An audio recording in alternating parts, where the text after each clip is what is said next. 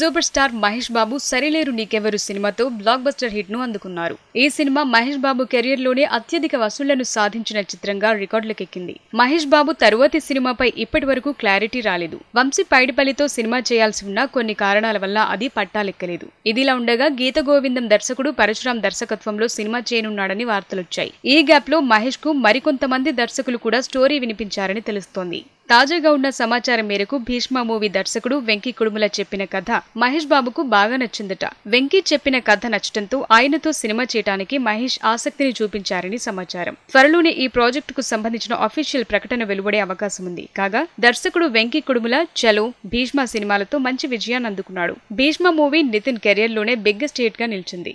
నిరంతర news update కోసం ఛానల్ను సబ్స్క్రైబ్ చేయండి. పక్కనే ఉండే బెల్ సింబల్ను క్లిక్ చేయడం మర్చిపోకండి. అప్డేట్స్ని మిస్ అవ్వకండి. Thanks for watching please like comment share follow on Facebook Google plus Twitter Instagram for more updates please subscribe great Telangana TV